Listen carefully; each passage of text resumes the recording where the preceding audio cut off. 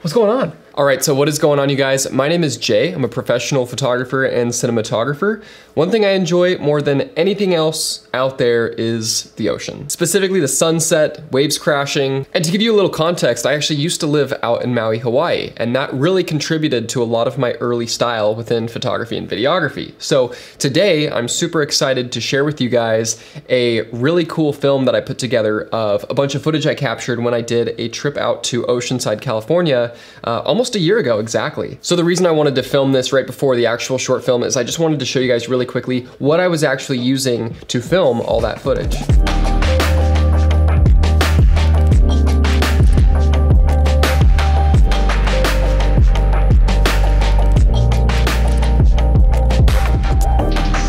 The Canon C70 with the Canon RF 24 to 70 f2.8 lens. It is the sharpest zoom lens I've ever used in my life. It has perfect colors, contrast, everything. No complaints about this lens at all. As far as the, the camera itself, I'll, I'll just let the, the footage do the talking. One last thing I wanted to say, guys, please stick around for the whole video.